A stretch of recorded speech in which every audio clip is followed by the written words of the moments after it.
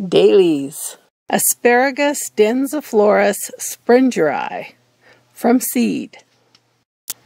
Used to could get this plant everywhere, but I have a really hard time finding one. And so I finally found some seed. I hope the seed is what I want. We'll see.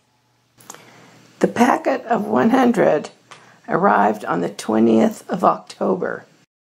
I had the pot all ready for planting and I sprinkled all the 100 seeds as evenly as I could over the soil on the pot. It's a round pot that's 19 and 5 eighths inches across.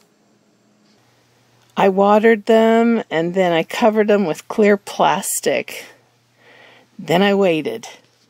The germination period is 21 days to 35 days up to 5 weeks. When I checked on the 14th of November, I found what looked to be three starts. So I removed the plastic because one of the starts had hit the plastic and bent over.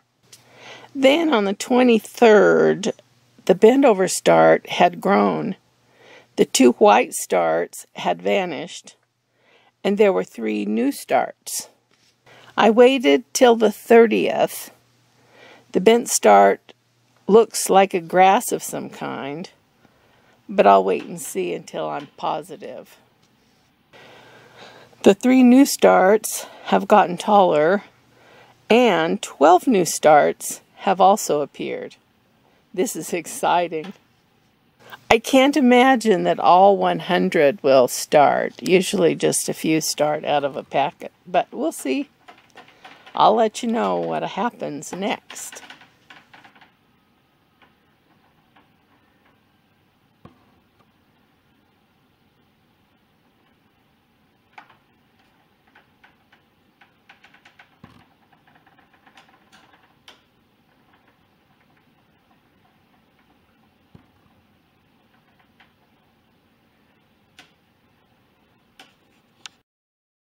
Hey, thanks for watching.